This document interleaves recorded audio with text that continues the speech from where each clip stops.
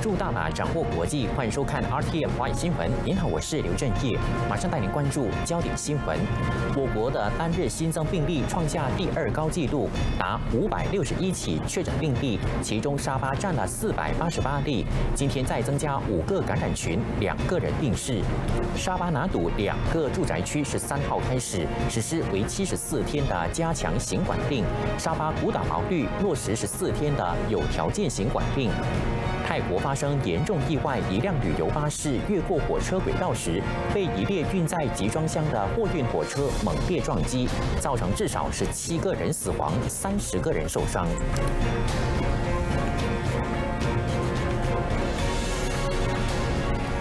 新闻一开始来关注国内的新冠肺炎疫情。截至今天中午十二点，我国的单日新增病例突破五百起，达五百六十一起确诊病例，其中八起是境外输入病例，其余的都是本土病例。其中沙巴州就占了四百八十八例。今天再增加五个感染群，同时我国今天新增两起死亡病例。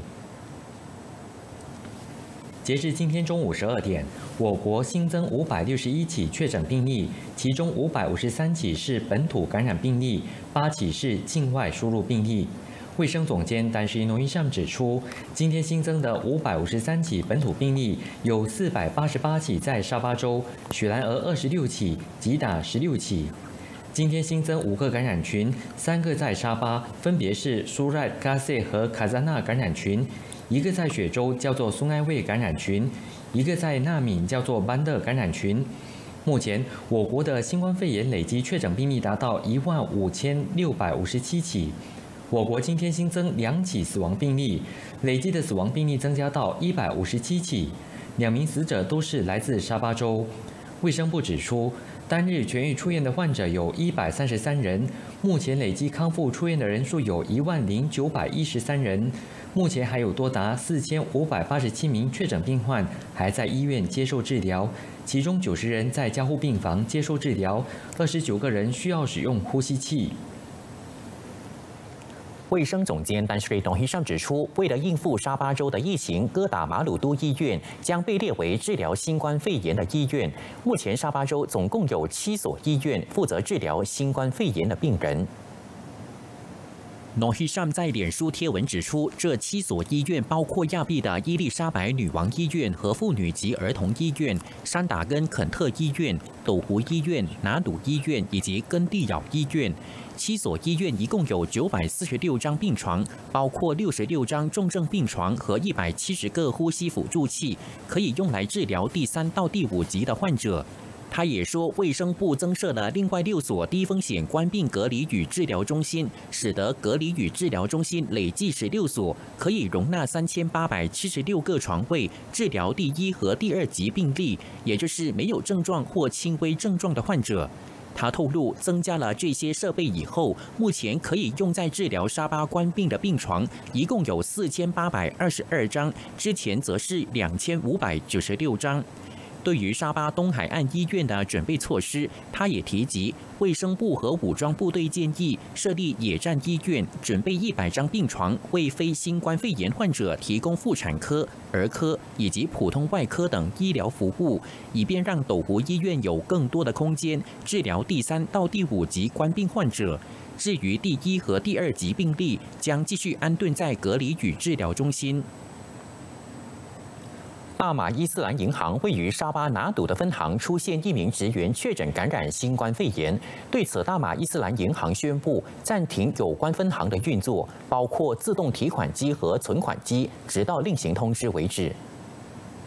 大马伊斯兰银行发文告指出，该银行位于拿堵分行的确诊职员曾经和家属一起到斗湖旅游，目前正在政府医院接受治疗，而职员家属则是从九月二十八号开始展开居家隔离。为了安全起见，该银行的分行也采取了联系追踪措施，以鉴定和患者有过密切接触的人，并且建议他们进行病毒检测以及展开居家隔离。同时，银行当局也对有关分行展开彻底消毒。基于这段时间，拿赌分行将会暂时关闭，而且 ATM 提款机以及 CDM 存款机服务也会暂时停止运作。因此，受影响的银行客户也受鼓励使用大马伊斯兰银行的手机应用程式或者银行网站，以次安全。沙巴拿督因为病例增加，所以国防部高级部长 Darshi Ismail Sabri 今天下午在汇报时宣布，拿督两个住宅区十三号开始实施为七十四天的加强行动管制令。此外，他也宣布沙巴古岛毛率从十三号开始实施为期十四天的有条件行管令。Hari ini kita mendengar cadangan daripada MKN Sabah mengenai terdapat kes COVID positif di Taman Kazanah Indah dan PPR Mutiara Kasih di daerah Lahad Datu. Sidang hari ini setelah mengadakan perbincangan dan mendapat pandangan dan nasihat daripada Kementerian Kesihatan Malaysia bersetuju untuk melaksanakan perintah kawalan pergerakan diperketatkan ataupun PKPD di Taman Kazanah Indah dan PPR Mutiara Kasih yang akan berkuat kuasa pada 12.1 minit malam 13 Oktober 2020 sehingga 26 Oktober 2020.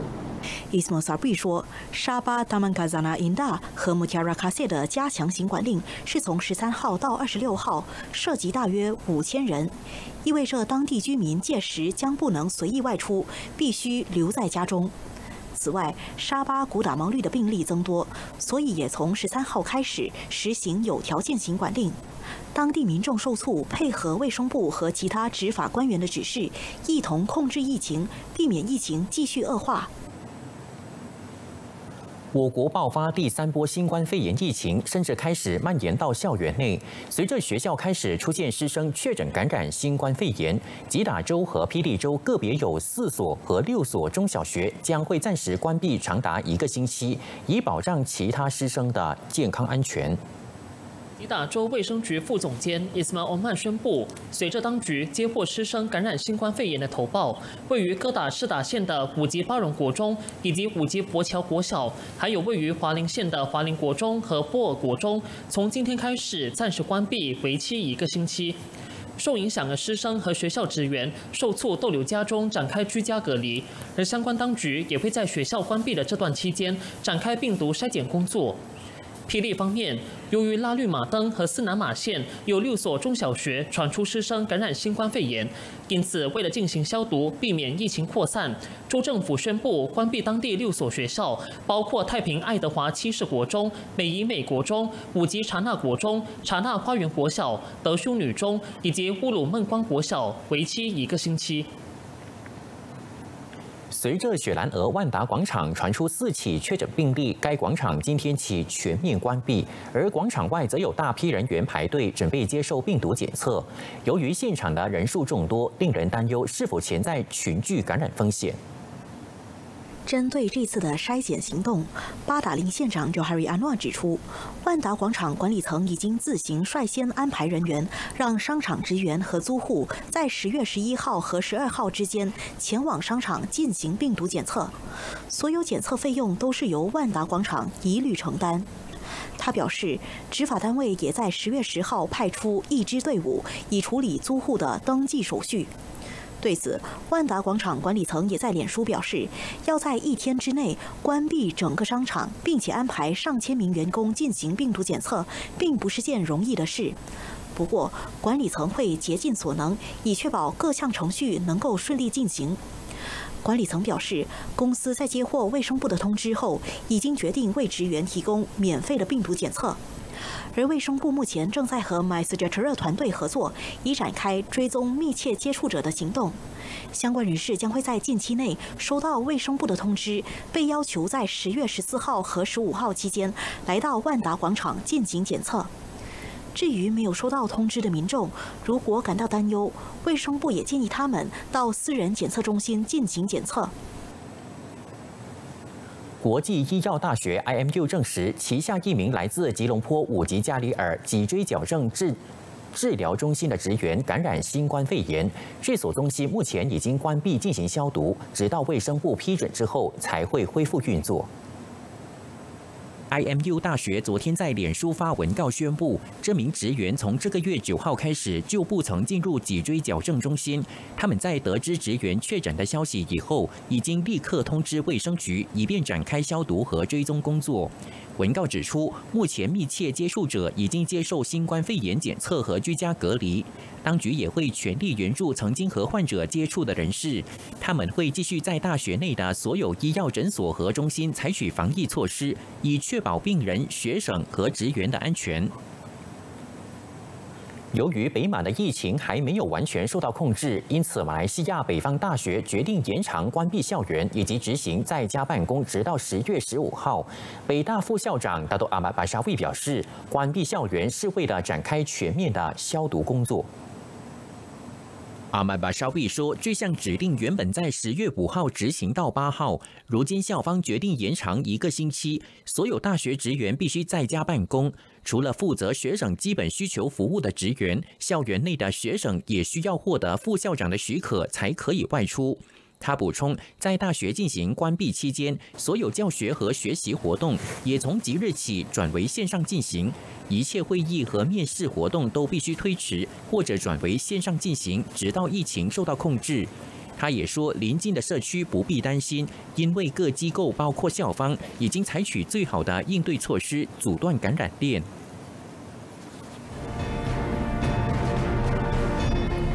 城四十二名男女日前因为租用豪宅举办生日派对，严重违反复苏式行管令，而被警方开出一千令吉罚单。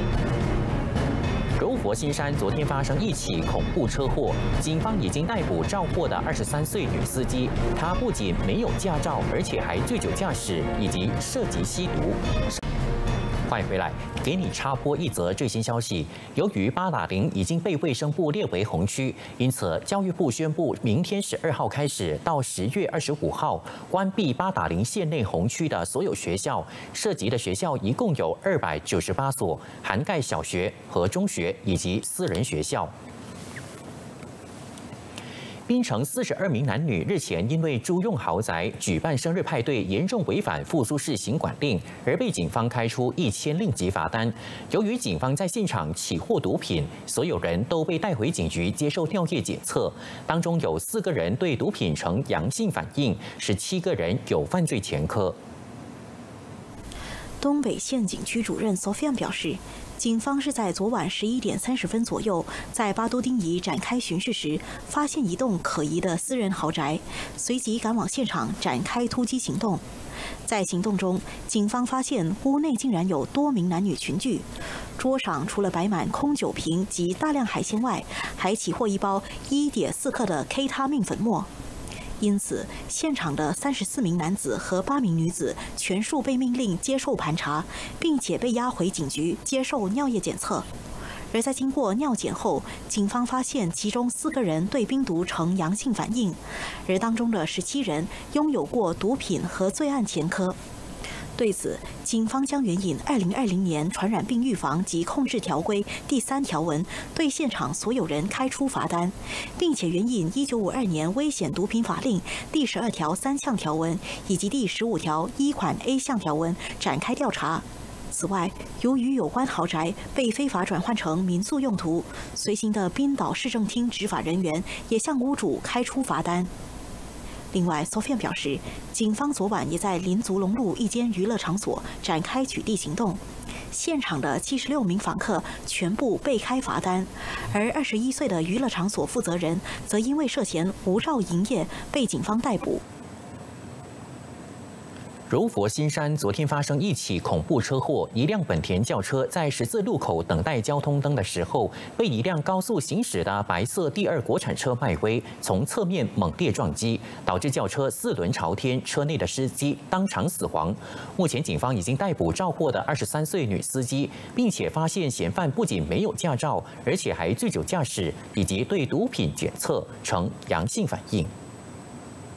这起恐怖车祸发生在昨天早上八点二十分，地点位于新山地不老大道博兰尼广场一旁的十字路口。肇祸的女司机年仅二十三岁，她的鲁莽驾驶行为导致一辆在十字路口等待交通灯的本田雅阁轿车被撞到翻覆，车内的三十一岁男司机因此头部重创，当场毙命。罗佛州总警长达多尔看透露，警方调查后发现，这名被捕的女嫌犯对毒品检测呈阳性反应，而且还醉酒驾驶、没有驾照、高速行驶、入睡过期和没有保险，抵触多项违规条例。Pemandu yang terlibat itu seorang wanita berusia 23 tahun. Lesen tak ada, road tag dah mati. Setakat ni positif, positif. ada.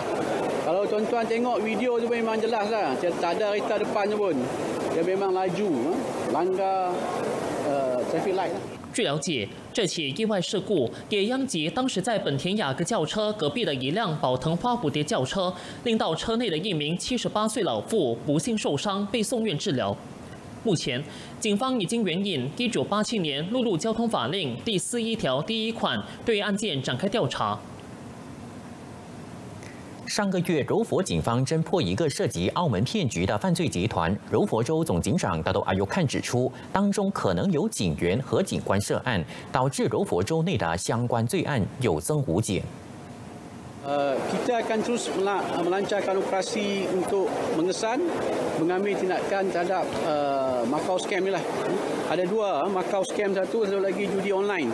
Kadang-kadang Macau scam judi online ni dia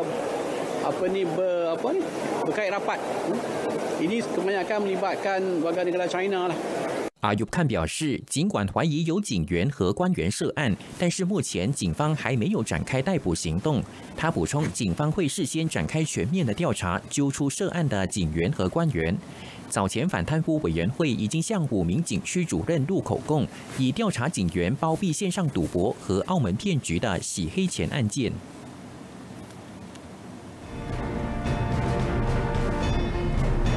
度的单日新增超过七万四千例，再有将近一千人病逝，这已经是印度连续七十四天新增病例超过五万例以上。稍回来有国际消息，请别走开。